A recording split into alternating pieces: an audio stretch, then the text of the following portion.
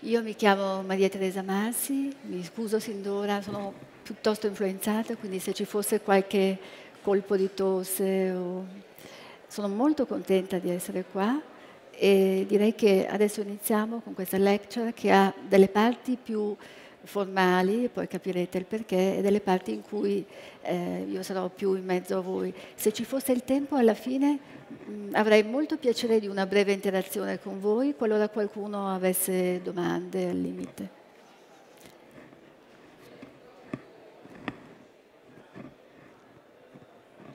È vicino all'acqua che ho meglio compreso che il fantasticare è un universo in espansione, un soffio di odori che fuoriesce dalle cose per mezzo di una persona che sogna, Gaston Bachelard. Un soffio di odori. Questa citazione di Bachelard non è casuale e costituisce una sorta di fil rouge fra la mia formazione che è più accademica e, il mio fare. Io sono una psicologa, e psicoterapeuta, ipnotista in particolare e mi occupo anche di branding. E molto spesso nel linguaggio ipnotico si usa appunto eh, un linguaggio che è evocativo, che è anche poetico qualche volta e l'utilizzo del canale olfattivo è importante, importante in ipnosi e nelle terapie in generale. Attraverso quello, ad esempio, riusciamo a fare in modo che le persone elaborino traumi oppure ricordino esperienze lontane, ahimè, purtroppo traumatiche. Mm, dunque, i motivi per cui sono qua sono di ordine differente. Innanzitutto professionale, come vi accennavo, perché è un qualcosa che peraltro io amo fare, faccio formazione, quindi eh, essere in aula non è una cosa nuova per me perché ho sempre studiato l'olfatto sin dai tempi dell'università, ci ho scritto una tesi, poi ho continuato a studiare, a scrivere e a pubblicare di questo. E sicuramente per una motivazione personale, cioè sono una persona che utilizza il canale visivo e quello olfattivo e anch'io, come tanti di noi, credo qui, eh, sono sempre alla ricerca del profumo perfetto, quello sublime per me. Però vorrei darvi qualche indicazione eh, proprio sulla struttura del sistema olfattivo. Può sembrare, spero non sia troppo pesante o pedante, però sono elementi di cui si parla in modo così popolare, ma non si capisce bene come mai l'olfatto sia un senso così legato alle nostre emozioni. La memoria olfattiva è una memoria dimenticata, Essa è inconsapevole e archivia gli odori attraverso una percezione globale che risponde al principio tutto o niente. È inconsapevole, lo è anche per, ad esempio, i bambini, tanto che il primo odore che noi conosciamo e riconosciamo è quello della mamma. E altra cosa importante, gli odori vengono archiviati in memoria o non lo sono affatto. Non è che un odore noi lo ricordiamo un po' sì o un po' no. Quando è degno di nota per noi, e poi vedremo tutto mediato dal sistema limbico ovviamente, avviene una sorta di archiviazione. Questo è uno studio abbastanza datato di Engen. Trig Engen è stato il più noto olfattologo, scomparso nel 2009 e tutti noi dobbiamo molto a lui, è stato uno studioso straordinario. Un odore una fragranza viene memorizzata unitamente al contesto e alle emozioni. Noi oggi parleremo di emozioni innanzitutto. E questa memorizzazione avviene attraverso diversi canali sensoriali, quindi questo cosa fa supporre? Questo è un altro esimio studio di Gottfried, che tutto ciò venga immagazzinato in aree cerebrali diverse, in particolare il sistema limbico e la, fronte- e la corteccia prefrontale. Ecco, noi abbiamo un odore, ma potrebbe essere una fragranza. Una fragranza è ancora meglio perché è consapevole. Quindi la trasmissione tenete presente che è velocissima, rapida e passa attraverso il bulbo olfattivo, il sistema limbico o cervello odorante e la neocorteccia. Quindi tutto questo che a noi sembra oggettivamente complesso, e lo è, lo è molto perché non sappiamo ancora tutto dall'olfatto, in realtà ha dei tempi molto molto rapidi. Bisognerebbe fare, è il caso di dire, un, un elogio del sistema limbico perché è quello che fa un gran lavoro per noi, per l'olfatto e per molto altro. Un odore, una fragranza anche, viene memorizzata unitamente al contesto, agli ambienti e alle emozioni in cui viene sentito. Gottfried l'abbiamo già visto, però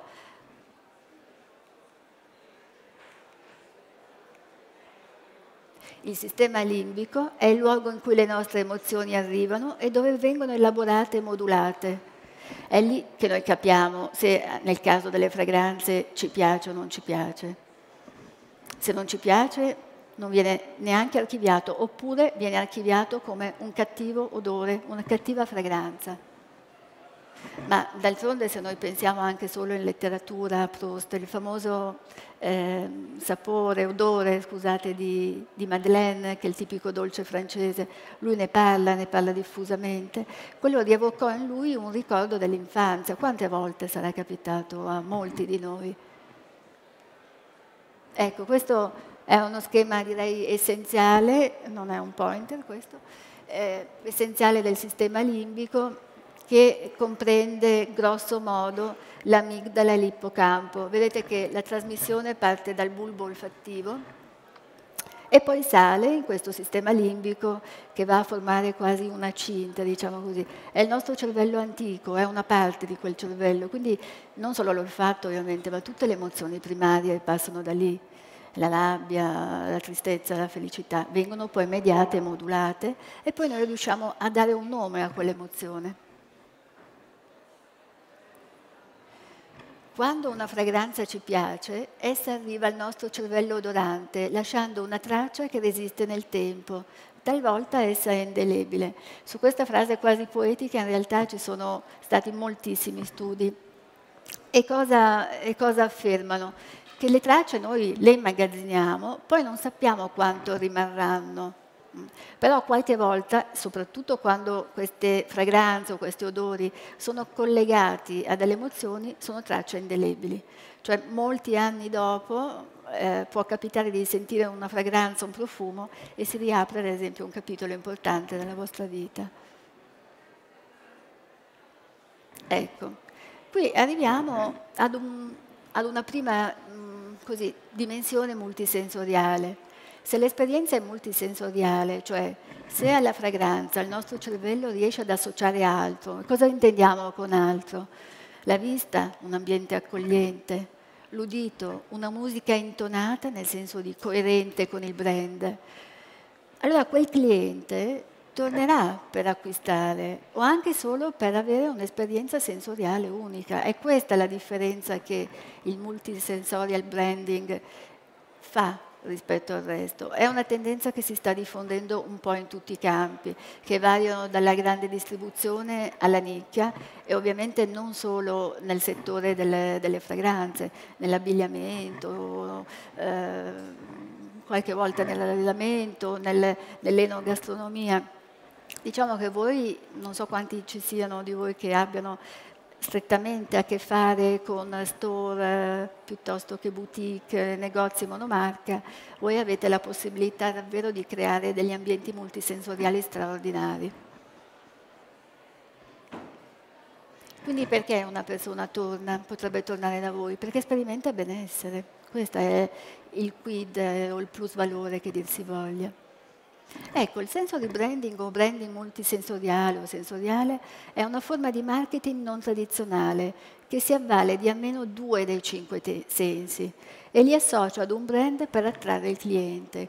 Non riusciamo sempre a utilizzarli tutti e cinque, anche nel mondo delle fragranze. Adesso io ve ne sto parlando in termini sostanzialmente generici, ma poi ne parleremo in modo più dettagliato e declinato nel vostro contesto e vedremo che già voi vivete immersi in fragranze, in profumi, che è eh, l'80 al 75% di ciò che fa scaturire emozioni nelle persone.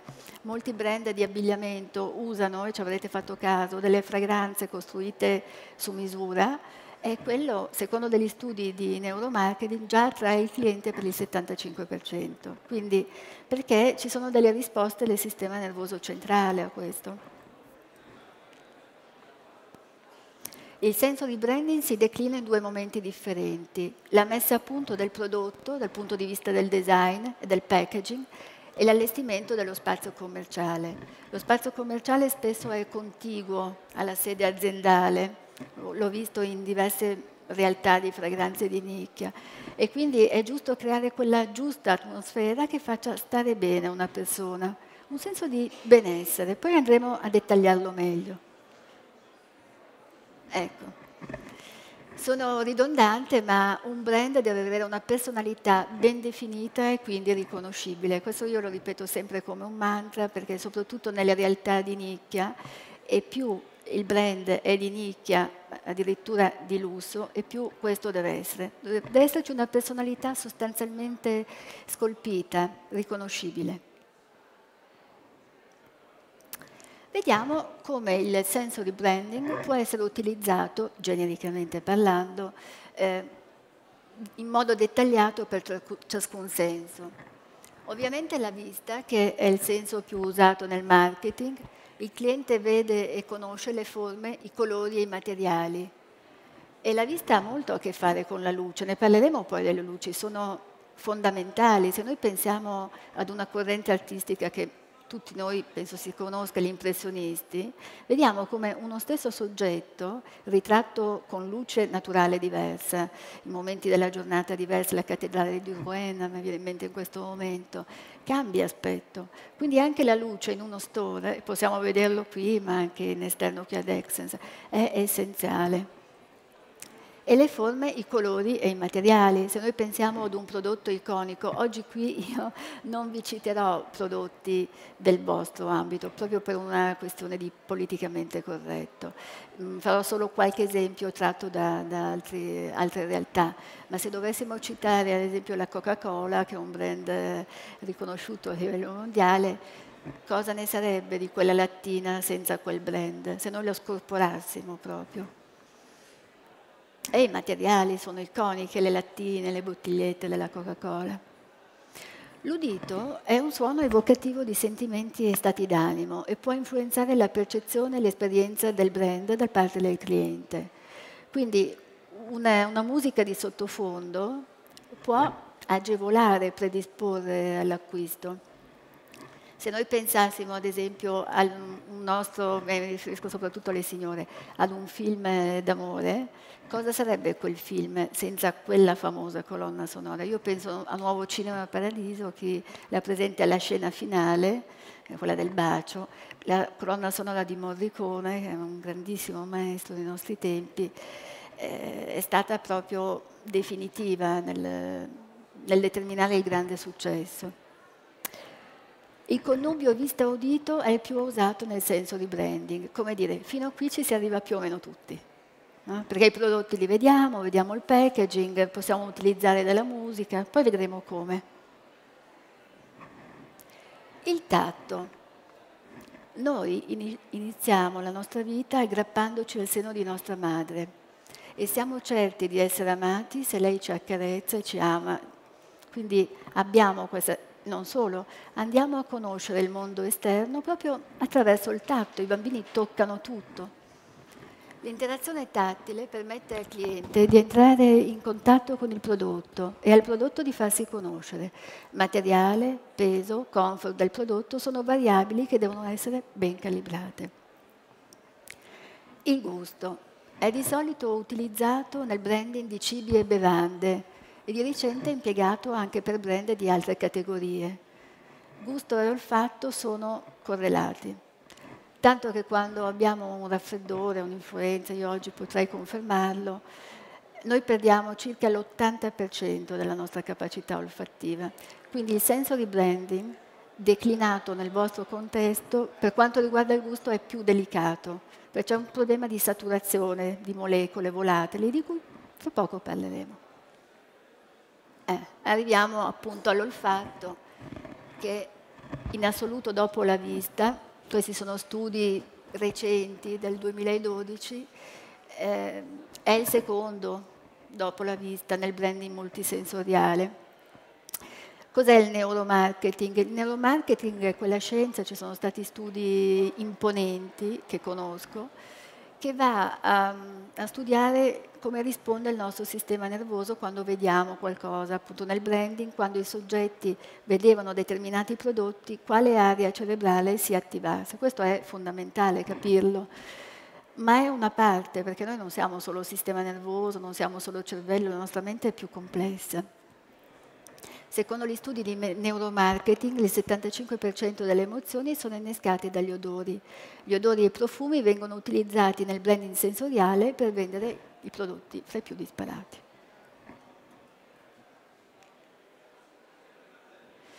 Adesso tocchiamo un punto così, en passant, che è delicato e generico, che è diciamo, l'identità delle vostre aziende.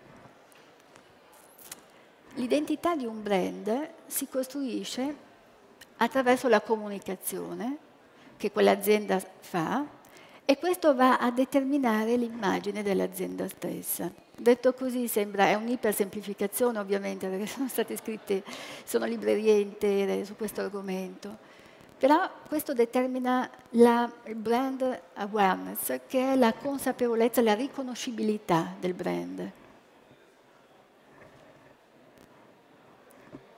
Prima di arrivare a queste domande vorrei fare un inciso su, sul vostro mondo delle fragranze dicendo che quando un cliente acquista una vostra fragranza, in fondo acquista anche una parte del brand. È una proiezione del vostro brand che voi dovreste offrire al cliente. In qualche modo lui dovrebbe entrare a farne parte. Queste sono delle domande assolutamente banali, che però fanno la differenza anche in termini, perdonate, di fatturato, perché scolpire l'immagine di un brand significa poi capire come fare comunicazione e soprattutto determinare il target. Quindi quanto c'è di voi nel vostro brand, che percezione avete di esso, pensate di riuscire a comunicarla, perché magari si ha un'idea del proprio brand, ma è difficile raggiungere un determinato target. E in questo periodo il mercato pone delle sfide particolari, ecco, non raccoglierle non dà molte grandi alternative. Quindi bisogna proprio focalizzare, l'ultima è la più importante di tutte insieme alla prima, e cioè sapete chi è e chi vorreste che fosse il vostro cliente. Perché poi tutto il resto, parlando anche di packaging, perché appunto che sono flaconi, e adesso li vediamo, dipende proprio dalla risposta che voi darete a queste domande. Questo materiale poi credo sia tutto disponibile, per caso. Cosa è importante? Creare cultura. Il mondo delle fragranze di nicchia è ancora percepito come, fatemi dire, esoterico, cioè riservato a pochi. Creare cultura circa il vostro saper fare, l'artigianalità, piuttosto è essenziale anche perché il cliente entra idealmente in qualche modo in contatto con voi e si fidelizza.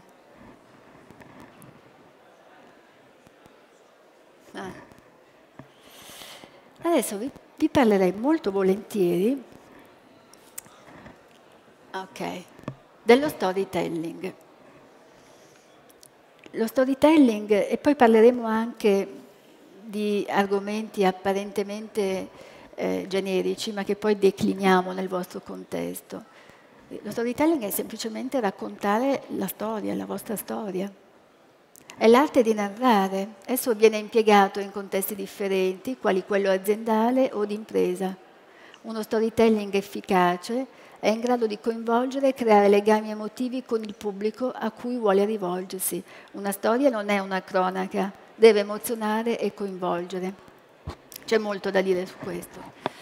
Allora, innanzitutto creare e raccontare storie è un qualcosa che affonda, è un gesto antico, esattamente nello stesso modo in cui profumarsi è un gesto antico. E eh, attraverso i secoli, quando non c'era ancora la tradizione scritta, la scrittura, la tradizione orale è stata quella che ha permesso all'uomo, inteso come genere umano, di andare avanti. Perché è importante raccontare una storia e raccontarla bene? La vostra storia, la storia della vostra azienda. Perché il cliente deve sapere chi ha davanti, soprattutto se un prodotto è un prodotto di nicchia. perché credo, suppongo, non vorremmo mai che venisse confuso con un prodotto commerciale. Voi di solito, di nicchia, non usate testimonial proprio per, fatemi dire, non svilire il prodotto. Sappiamo di avere a disposizione fragranze sublimi e quindi a volte commettiamo l'errore di non pensare ad una comunicazione adeguata.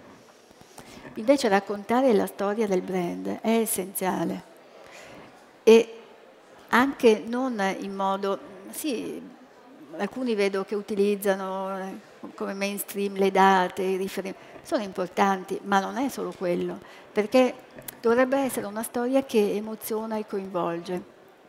Spesso mi è capitato lavorando con brand di fragranze di nicchia, mi sento dire cose diverse, del tipo, ma la nostra storia forse non è abbastanza, non è abbastanza pill, non è abbastanza antica, non è così affascinante.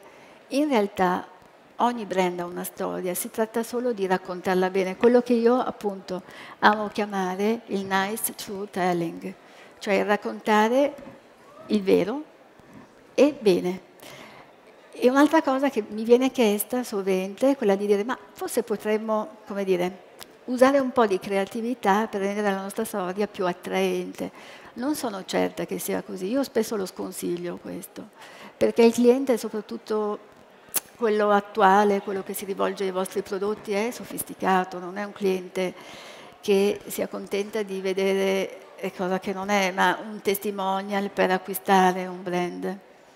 Quindi raccontate la vostra storia e cercate di farlo il meglio possibile.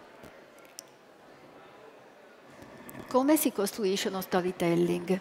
In tre fasi, cioè definire perché vogliamo raccontare una storia, raccogliere ed elaborare tutte le informazioni necessarie per poterla raccontare bene. Non è che le useremo tutte, ma intanto noi andiamo a creare cultura sul brand. È una cultura che serve a noi internamente come azienda, ai dipendenti che lavorano con noi, perché aumenta il senso di, e definisce il senso di appartenenza all'azienda stessa e perché poi riusciamo a raccontarla nel modo migliore possibile.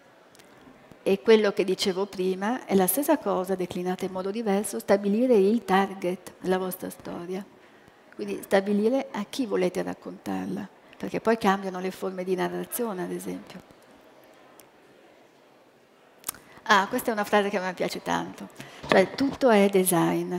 Ed è vero, questo è un esimio collega Richard Farson, che ha fondato, è uno psicologo appunto, ha fondato l'Istituto di Scienze Comportamentali del Western, degli Stati Uniti d'America occidentali, e, e, però lui sostiene in, in alcuni dei suoi libri che tutto è design, quindi noi dobbiamo non solo pensare al, a disegnare la nostra azienda nella sua macrostruttura, ma anche poi quando abbiamo davanti una fragranza, abbiamo creato una fragranza meravigliosa, pensare a cosa disegnare intorno ad essa e non solo packaging. Vorrei fare un breve elogio del packaging. Ho fatto un giro rapido poco fa e ho visto che ci sono aziende che veramente stanno facendo cose straordinarie sul packaging. Un packaging importante, bello o essenziale, pulito, ma comunque di grande valore. Di per sé la definizione di packaging è riduttiva, nel senso è la modalità di imballaggio e confezionamento, mentre branding è l'insieme di attività strategiche e operative relative alla costruzione e alla gestione della marca. Allora, qui ci sono scuole di pensiero molto diverse. C'è chi sostiene che il, il packaging e il branding siano la stessa cosa, e quindi vadano trattate nello stesso modo, cioè con, eh, con ehm, la stessa attenzione per i particolari. Con... C'è chi invece sostiene che il packaging sia semplicemente, questo i creativi, sia semplicemente una parte del branding. Questo a noi interessa relativamente, nel senso che al netto il packaging è determinante. Ecco, citando e continuando a citare la Coca-Cola, facciamo anche un po' di eh, la Coca-Cola appartiene a quei brand definiti come packaged brand, cioè addirittura è un marchio confezionato. Come si diceva prima, se noi scorporassimo il logo, i colori, le confezioni, avremmo ben poco. Tanto che è stata imitata in molti modi diversi, ma al di là della bevanda di per sé, nessuno ha raggiunto quel successo di, di immagine così forte e conosciuto dovunque. Questo è uno dei più importanti eh, consulenti in branding e marketing, Scott Davis, e a proposito di branding lui afferma questo, dice la marca è tra i più fondamentali valori di un'impresa e oggi le aziende intelligenti comprendono l'importanza di capitalizzare il valore dei propri marchi, quanto si stava appunto dicendo poc'anzi. Queste aziende sanno che questi marchi sono quello che l'azienda fa e quello che l'azienda è. Questo secondo me è veramente il fulcro di questa citazione, perché molto spesso il brand è e il brand fa, perché poi il consumatore, l'utilizzatore finale, il cliente, alla fine quando tiene in mano la confezione con, che contiene la vostra fragranza, non sta a distinguere, è un tutt'uno e quando entra in negozio, in boutique, nel negozio monomarca, eh, nei multistore, se qualcuno di voi vende nei multistore, lo riconosce proprio perché ha quelle caratteristiche, esattamente come noi in ogni parte del mondo non abbiamo problemi a riconoscere una lattina o una bottiglia di Coca-Cola. Ecco, ci sono delle distinzioni nel packaging che accenniamo, giusto per che il packaging primario, che è il flacone o la bottiglia, e il secondario, la confezione. E mi vorrei fermare un attimo dicendo un paio di cose sui flaconi e le bottiglie.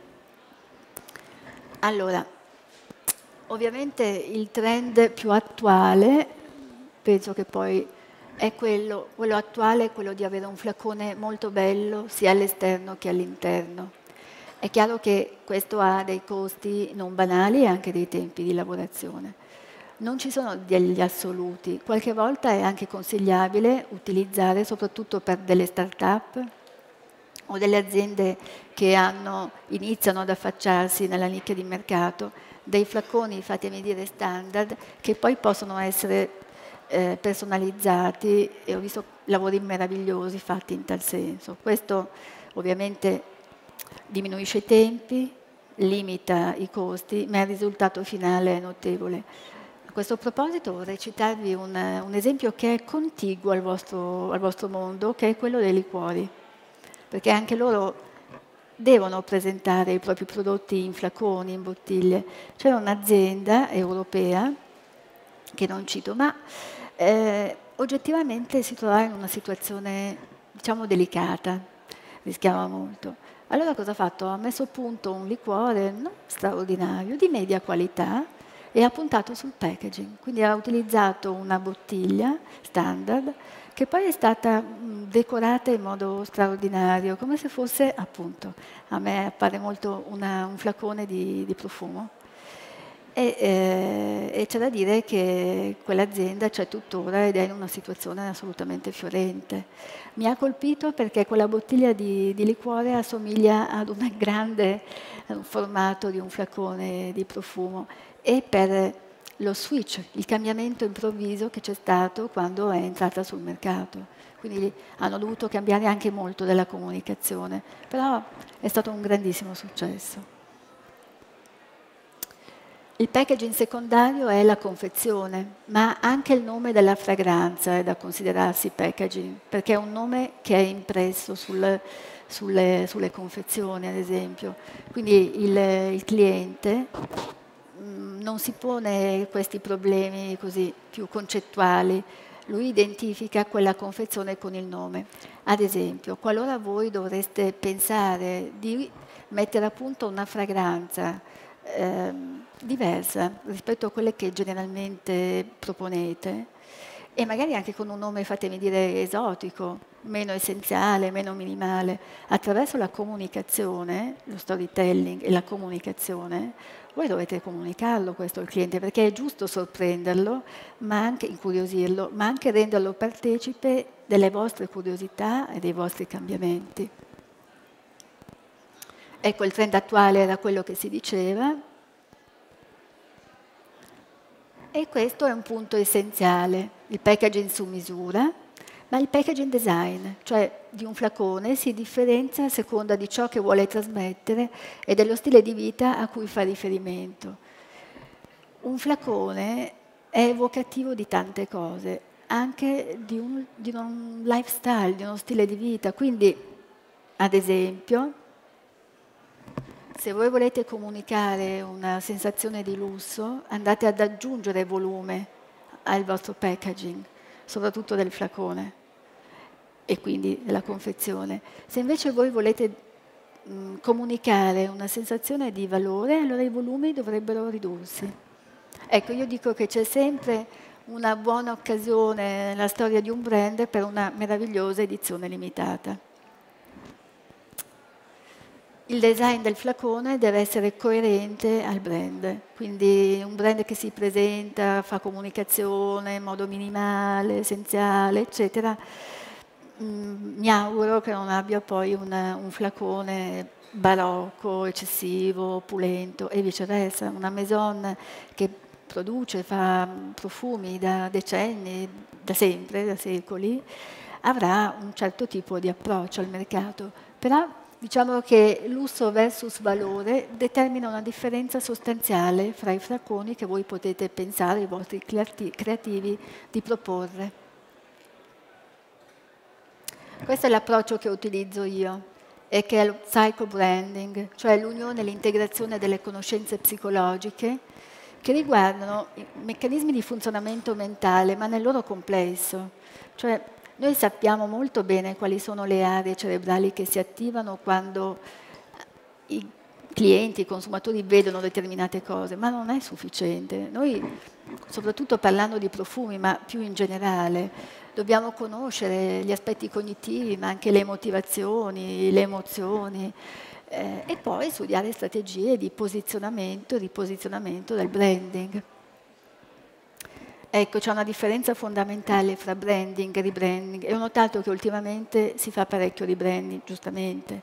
Cioè quando un'azienda vuole cambiare la propria immagine, allora decide che magari utilizza appunto un'occasione particolare per comunicare in modo diverso, per uscire con nuove fragranze, per cambiare il packaging, per usare uno storytelling che abbia più appeal per raccontare meglio anche la storia delle fragranze, perché noi avevamo parlato prima dello storytelling legato alle aziende, ma anche i profumi hanno una storia. Non so se c'è qualcuno che, eh, che, sia un naso qui fra di noi, ma eh, spesso c'è una collaborazione stretta fra i nasi e la direzione creativa, quindi in realtà è un lavoro più complesso di, di quello che noi romanticamente potremmo pensare. Ma eh, si esce con un rebranding parziale, non totale dell'azienda, perché, del brand, perché sennò il consumatore è disorientato, si trova davanti a qualcosa che non riconosce. Allora in modo graduale si arriva a cambiare l'immagine dell'azienda. La stessa cosa vale per il um, senso di branding, cioè alcuni mm, si quasi inquietano perché è un qualcosa di relativamente nuovo. Tenete presente che se ne parla dal 2002 circa, quindi è relativamente nuovo ma almeno da un punto di vista teorico, negli ultimi anni, negli ultimi 5-10 anni, 5 mm, soprattutto, in modo più intensivo e massificato anche. Però fare senso di branding non vuol dire dall'oggi al domani stravolgere completamente l'identità di un'azienda, sarebbe assolutamente controproducente. Noi non vogliamo consumatori o clienti disorientati o che si chiedono ma che fine ha fatto quel flacone che sì, però non era attuale, ma io la vedevo sulla toilette della, della mia mamma, ad esempio.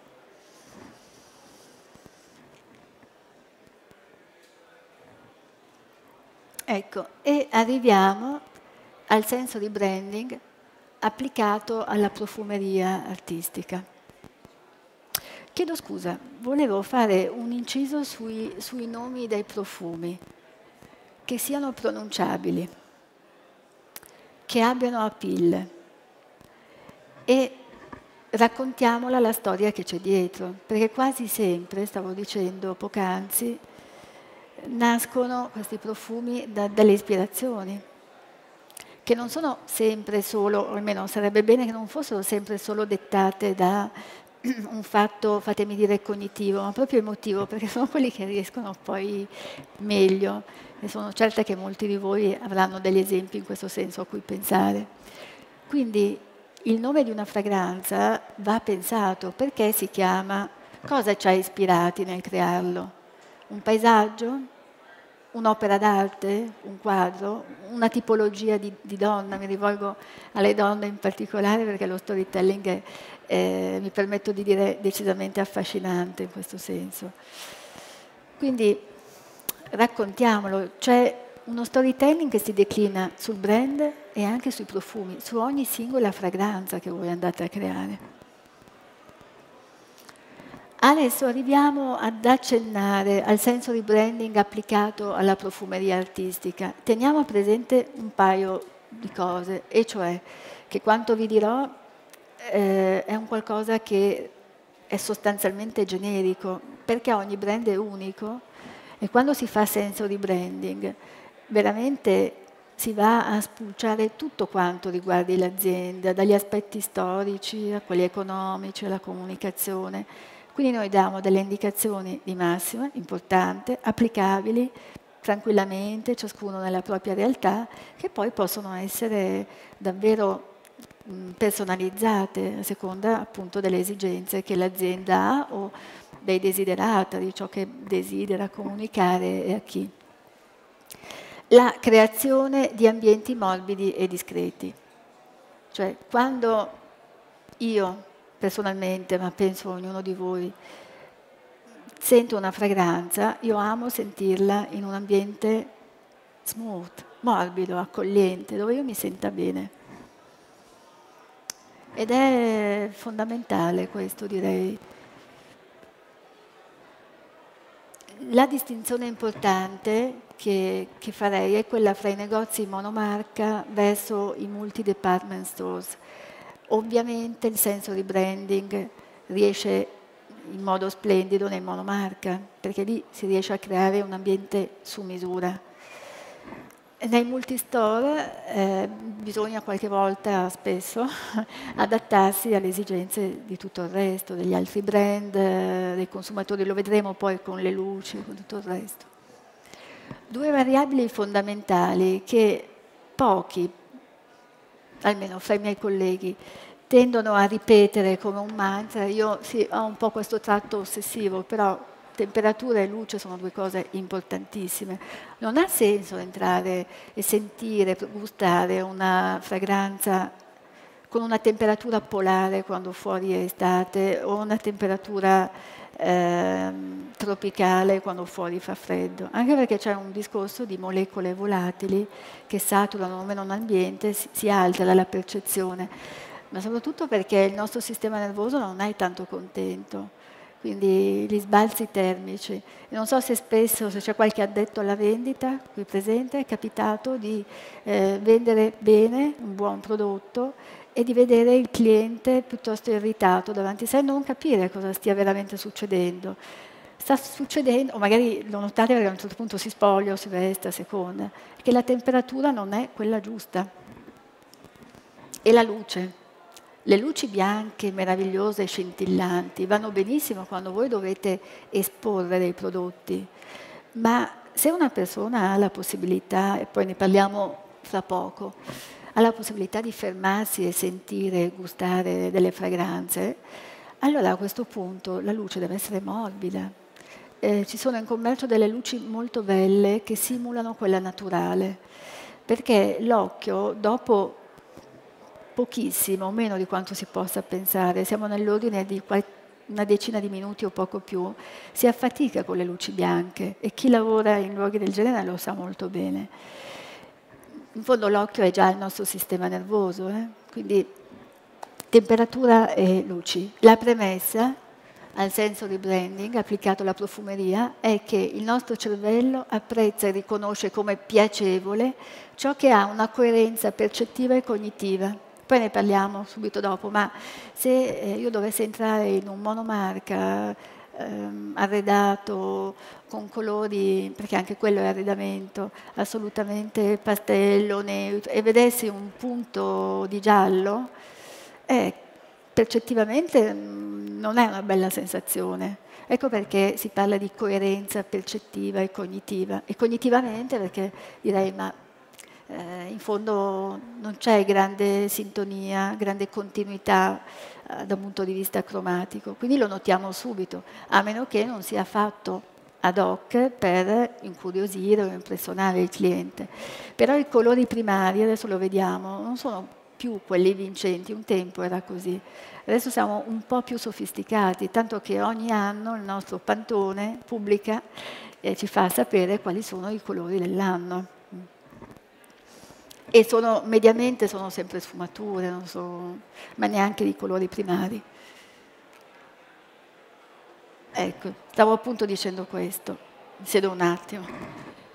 I colori dovrebbero essere coerenti con quelli utilizzati dal brand e non solo i colori degli ambienti, ma anche l'abbigliamento degli addetti alla vendita, nel senso che nei multistore di solito hanno una divisa, quindi il problema non si pone. Però se voi riusciste a dare a chi vende un dress code, almeno per quanto riguarda i colori, per il discorso che facevo prima, oppure un, se dovessi ipotizzare una monomarca di una start-up essenziale ma con colori di impatto, eh, credo che ad esempio io oggi vestita in beige non avrei grande successo, cromaticamente intendo, cioè verrei percepita come un qualcosa che si muove e abbastanza sganciato dal contesto. Questo è l'effetto che in psicologia si chiama figura sfondo.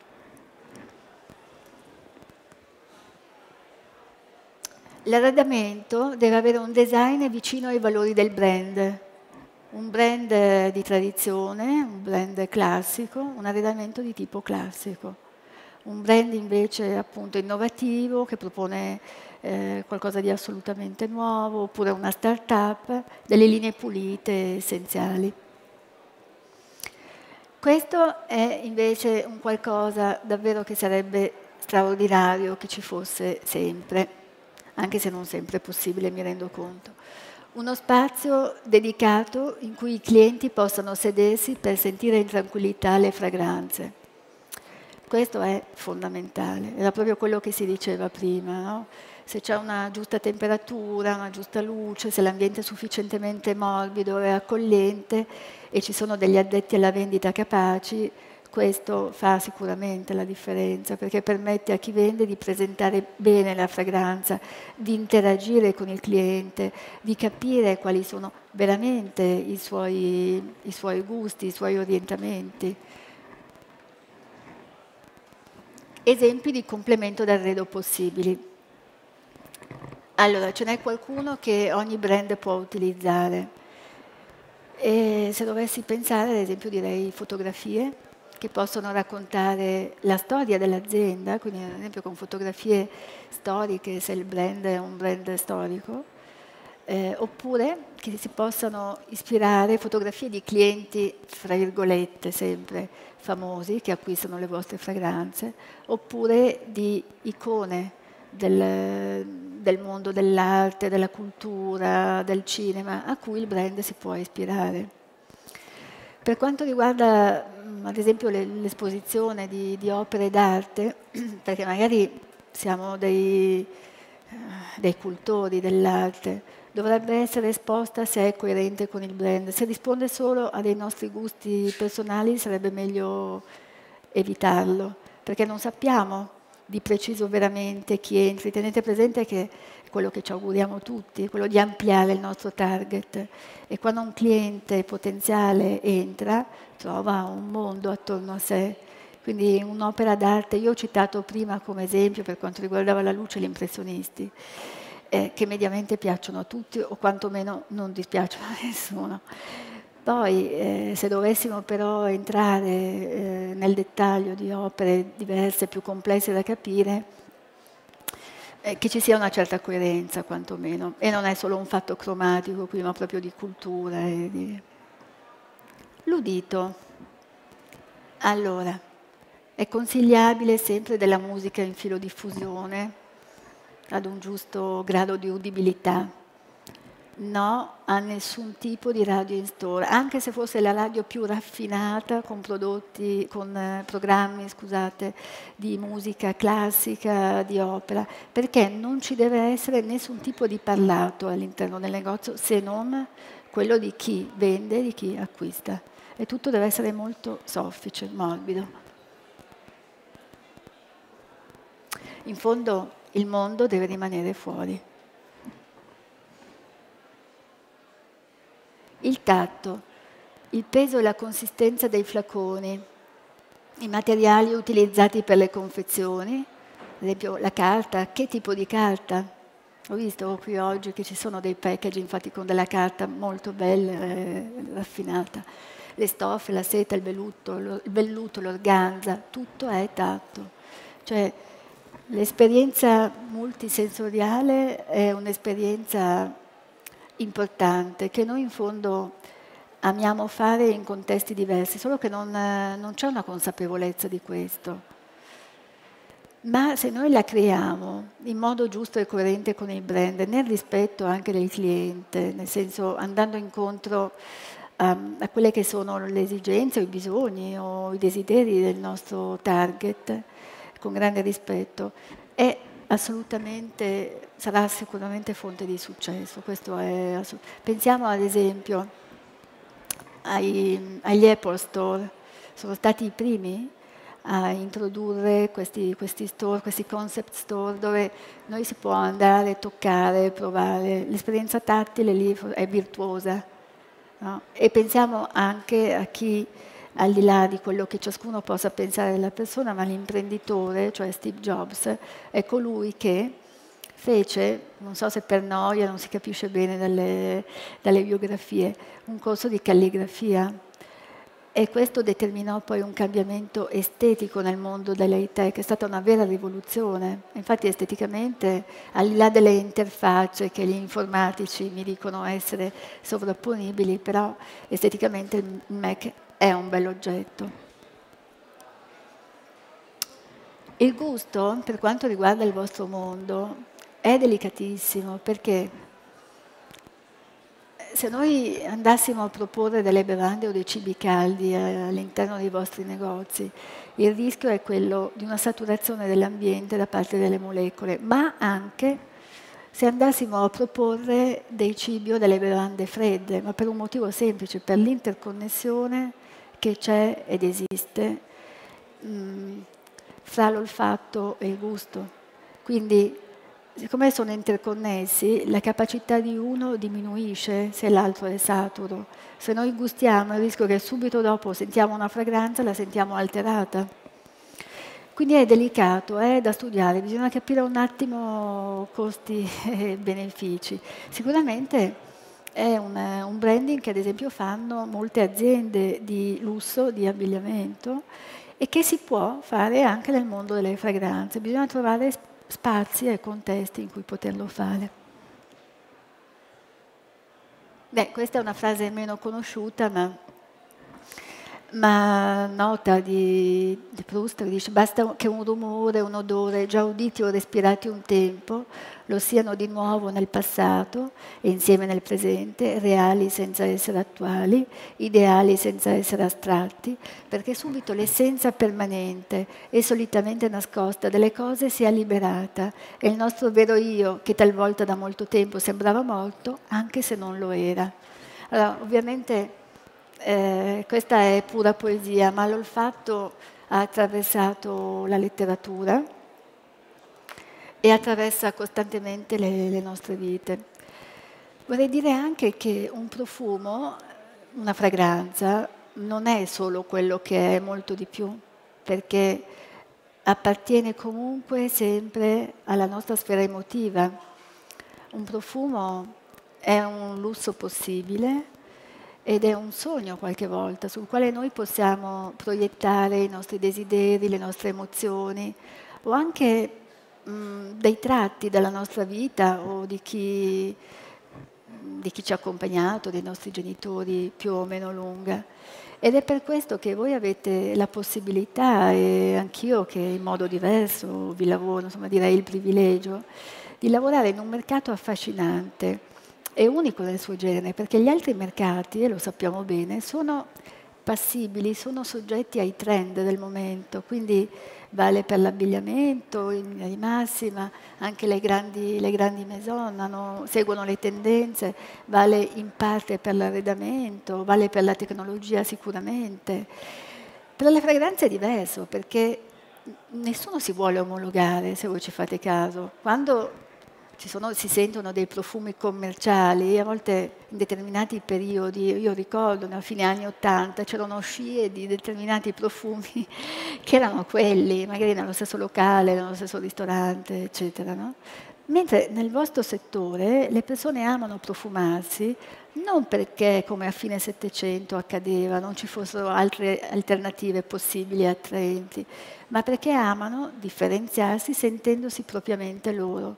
È una sorta di, di proiezione di sé e voi con la vostra azienda potete farlo in modo elegante, impeccabile, ma anche scolpendo il vostro brand. Mi verrebbe da spendere un paio di parole sui nasi, che è vero hanno delle personalità complesse, eh, forti e anche fragili, però sono coloro che eh, ci permettono di, ci hanno permesso, ci permettono di vivere a distanza di tempo, di continuare a vivere eh, storie d'amore eh, importanti, tormentate o meno tormentate, percorsi di vita, le nostre e quelle degli altri per lungo tempo. Io vorrei ringraziare l'organizzazione che, che, mi ha invitata, vorrei ringraziare Paolo Marzi che, che mi è sempre di, di, un grandissimo e valido aiuto e ringraziare tutti voi per l'attenzione. Grazie. Ce l'abbiamo fatto. Se c'è qualcuno che ha qualche domanda, che... qualche se non sono stata sufficientemente chiara, esaustiva no, perché sono argomenti infiniti, interessanti, affascinanti ma importanti. Quindi se qualcuno di voi avesse qualche domanda o curiosità, ben volentieri. Quante aziende hanno finora chiesto una consulenza specifica? Oppure hanno fatto da sé? Allora io... Po- Mi scusi, eh, può ripetere la domanda? Certamente, va bene. Allora, dicevo, quante aziende qui fuori o non qui fuori hanno ricorso al fai da te finora oppure si sono rivolte a studi magari specializzati? Come... Allora, finora io lo intendo fino a qualche anno fa. Fino a qualche anno fa parlo degli ultimi cinque anni all'incirca e ovviamente parlo per quella che è la mia, scusate, la mia esperienza personale aziende italiane un po' più all'estero, però italiane da luoghi non credo così distanti, lei è toscano suppongo. Ecco. Eh, sento le voci, nel senso che sono abituata a sentire voci, quindi è molto delicato il suo accento, ma eh, aziende a volte anche a conduzione, cioè con una gestione, una tradizione familiare, che però si sono rese conto, soprattutto con le nuove generazioni, che c'è bisogno di qualcos'altro. Quindi diciamo un 20% hanno fatto da sé e l'80% si sono rivolti a voi o l'opposto? Non ho delle statistiche così. Tenete presente che, il, il, come dicevo prima, la sensorialità nel mondo delle fragranze è nuova, perché voi avete già a che fare con un prodotto che è sensoriale per eccellenza. Quindi io posso parlare per quanto riguarda me, non ho delle percentuali eh, che possono riguardare altri consulenti e colleghi. È un qualcosa di relativamente nuovo. Diciamo che la crisi che, che è arrivata, se, se, dobbiamo parlare di quello, dal 2008 in poi ha fatto riflettere tutti. E, e sono sfide mm, importanti perché le alternative non sono attraenti. Cioè, quando abbiamo a che fare, e soprattutto quando più un prodotto è di valore eh, o di lusso, e più questo discorso diventa importante, perché va mh, a incontrare il cliente fidelizzandolo. È molto etico anche. Cioè non, non, amo, per, per, quanto mi riguarda, ecco, questo è un discorso assolutamente personale, l'idea di applicarlo in modo scientifico. Ecco perché pur conoscendo gli studi di Lindstrom eh, sul neuromarketing, amo pensare ad un approccio globale in cui la, mh, il potenziale cliente o il cliente venga pensato, quindi con emozioni, con motivazioni, con il fatto che un determinato colore o packaging o formato vada ad eccitare alcune zone del sistema nervoso, per me è poco eccitante è, da un punto di vista professionale. Lo è più disegnare intorno al brand un potenziale mercato oppure riposizionare il brand. Grazie. Prego. Prego. Mi chiedevo se mh, anche la formazione delle, mh, diciamo delle, insomma, della vendita poi diretta possa far parte di tutta la concezione che c'è a monte del brand. Cioè perché eh, alle volte c'è un lavoro appunto di, insomma, di branding molto molto importante per fare in modo che il prodotto che viene presentato abbia il giusto, il giusto valore, perché magari alle volte si parla di prezzi importanti, ma non, che non deve essere giustificato. Siccome poi chi arriva, a chi arriva al prodotto finale arriva tramite chi lo vende, in realtà. Mi chiedo se in questo in quest'ottica di, anche di innovazione rispetto anche di dare un'alternativa diversa sia anche la formazione ma una formazione psicologica nel senso importante per chi si occupa della vendita, perché se io, cioè, se io vendo il profumo e lo vendo io che l'ho creato, lo venderò in un modo, ma chi, questo l'ho visto anche qui comunque, chi invece vende il profumo o comunque accompagna il creatore nella vendita del profumo, userà già, cioè sarà diverso a partire dalla terminologia, quindi mi chiedo se ci sia anche un metodo. Non c'è un metodo, però la formazione psicologica non estensiva, cioè non una laurea in psicologia, ma una formazione buona psicologica da parte di chi vende, io la do per scontata. E soprattutto che conosca bene il brand, la sua storia, perché poi la deve comunicare al cliente. A maggior ragione se il prodotto è un prodotto di lusso con un prezzo non banale, perché poi appunto non deve giustificarlo, perché se il lavoro viene ben fatto e ben condotto, il cliente semplicemente acquista il prodotto, non, non batte ciglio, fatemi dire. No? Però una buona vendita centrata sul cliente è un, presupposto essenziale. Quindi è chiaro che le fragranze devono, eh, devono essere spiegate, soprattutto se sono di nicchia. Però c'è un'attenzione al cliente, ma questo è un presupposto essenziale. La formazione la può fare l'azienda al suo interno, può comunicare agli addetti alla vendita quali sono i valori. Ecco tutto il discorso che si faceva prima sull'identità del brand. Devono essere resi partecipi di, questo, di questi eh, gli stessi dipendenti, consulenti, addetti alla vendita, perché poi devono saperlo comunicare bene. Quindi sì, la risposta banalmente sì, eh, date queste premesse. C'è qualcun altro che... Beh, okay. Grazie a tutti per l'attenzione, buona continuazione.